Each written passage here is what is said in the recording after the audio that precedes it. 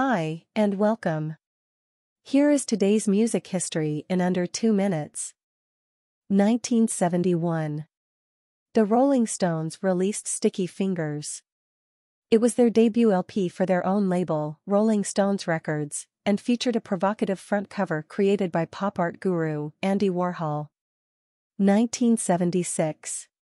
Punk rock pioneers, the Ramones, released their self-titled debut on Sire Records. The album took seven days to make and cost $6,400. 1988.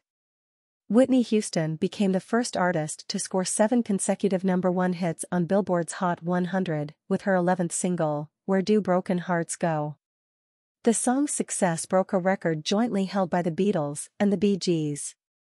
Birthdays today. Steve Clark, guitarist with Def Leppard. Roy Orbison. Glenn Cornick, former bassist for Jethro Tull. Thanks for watching. See you tomorrow.